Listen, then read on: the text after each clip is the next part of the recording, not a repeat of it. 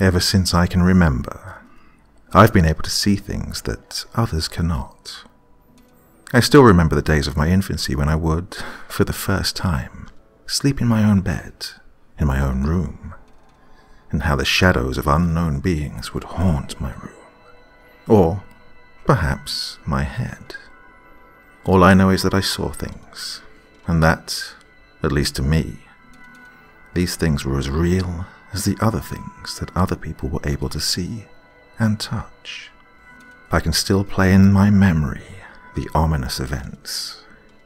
How I pointlessly attempted to sleep as the door of my wardrobe opened slowly, and always stopped just before I was able to see what pushed it open, although it was already hard enough to see with one eye barely open, just to be aware in case that whatever hid behind the door decided to come out.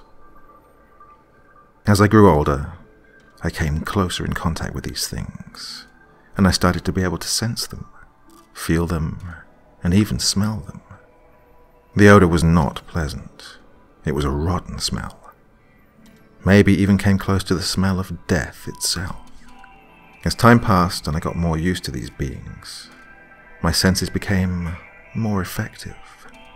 I could see everything, sense everything, smell everything, and was able to differentiate what was one of these beings and what was something else shared with the rest of the people around me. However, as close as I came to these beings, I could never hear them. This made me feel so desperate. I knew they were there. I could sense them. I was able to tell they were there. But the missing noise provoked an immense fear. How was it possible that with everything these beings were able to do, they did not emit any sound? Seeing them, knowing they were there, but still unable to hear them. Soon enough, people noticed my constant state of, as they called it, paranoia, and I was sent to a psychologist. I was not paranoid. I was merely cautious. I had to keep my senses always in full of attention as to what was around me, since I could not hear them, and they could get closer to me at any time when my guard was down and do God knows what to me. Maybe convert me into one of them. Maybe they were demons trying to drag my soul into the depths of hell. Maybe they were angels of death trying to steal my life away. I'd refused to go to said psychologist, but I was dragged to his so called office, which looked more like his own apartment. The visit was quick. He asked me all kinds of questions about my life and got me to talk about my personal life too. I told him everything about my past experiences with the strange beings that haunted me. Being 25 years old and having a long history of experiences like these, ever since I can remember, did not go down too well with the doctor, and I was sent to a psychiatrist, whom, after the very first visit, prescribed pills for me. He explained to me that the pills would help me get rid of the beings and would help me feel less stressed, and that I would be able to maintain a more normal lifestyle. He did, however, warn me that those pills were not easily found, but that whenever I needed more, he could provide me with them. And he also mentioned that the effects would kick in slowly, and that the more I took, the faster they'd fade away.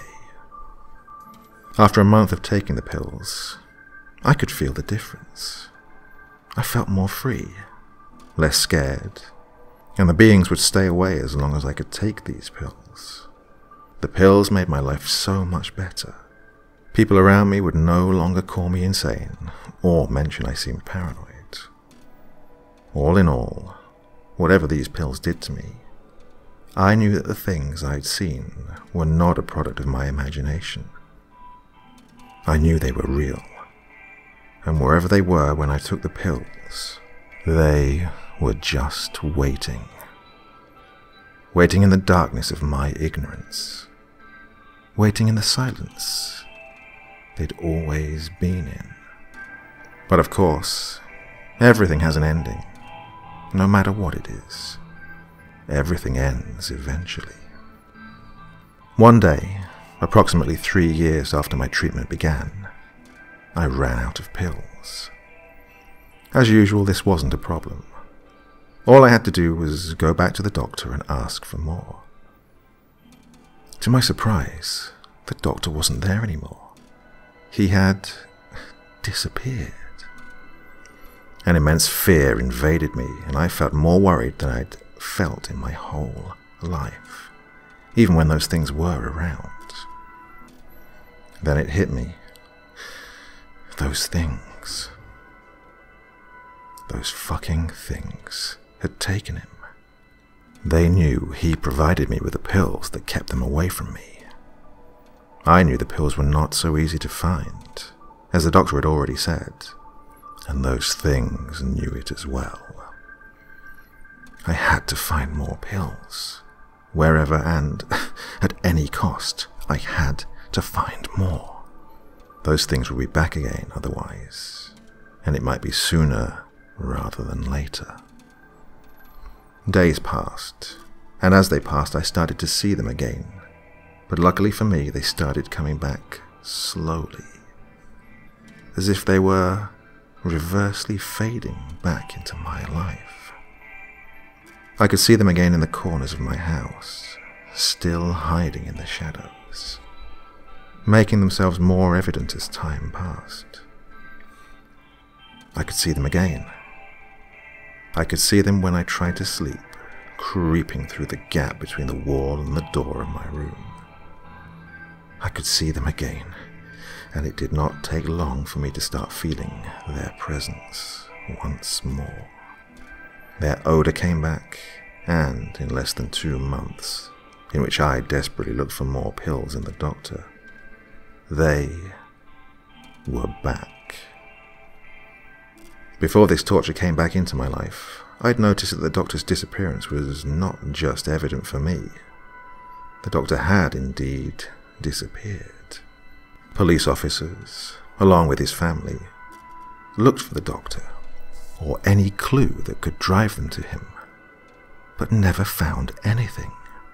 In the meantime, I slowly descended back into my long forgotten hell. This time, though, something horrible happened.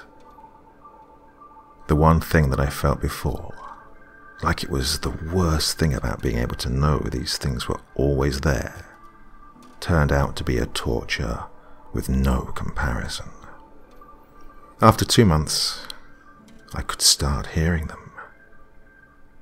They became louder and louder every night. They were screaming. When they did not scream, they whispered.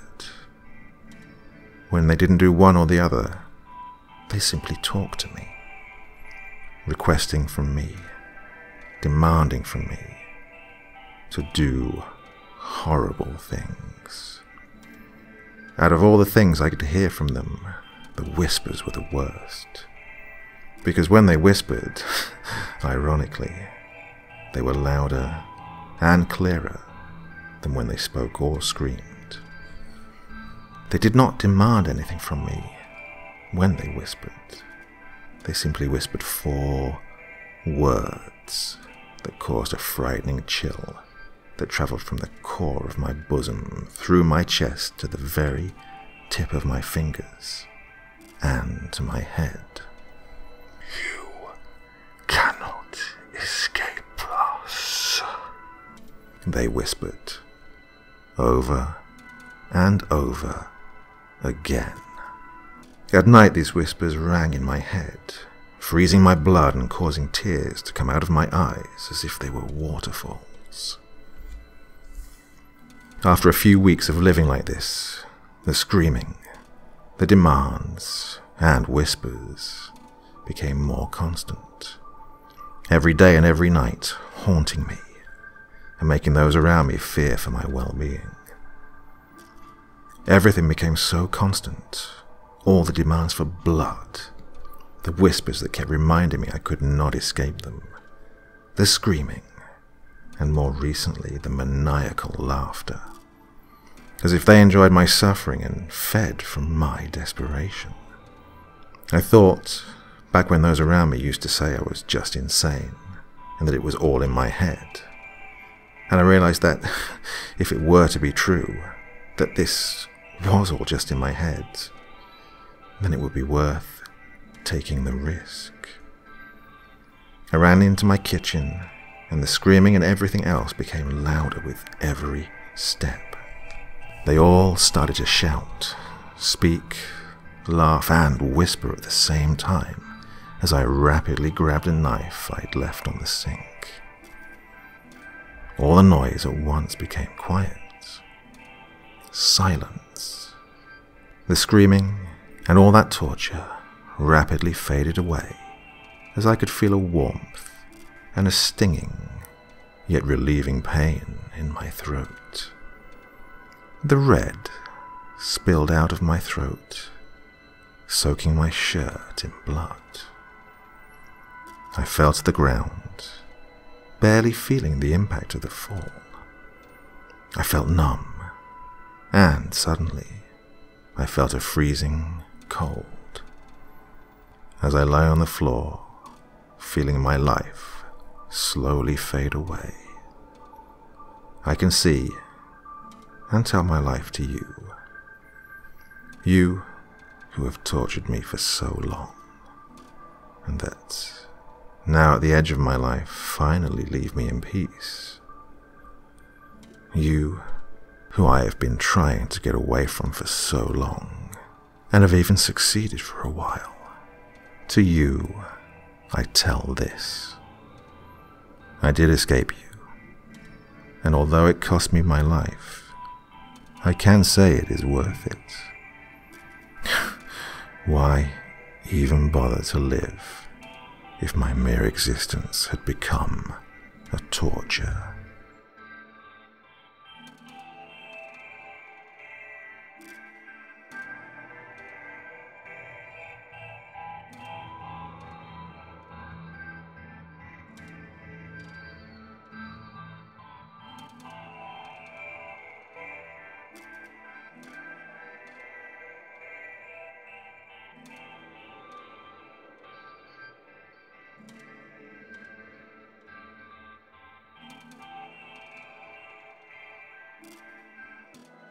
Thanks for taking the time to drop by and watch this video.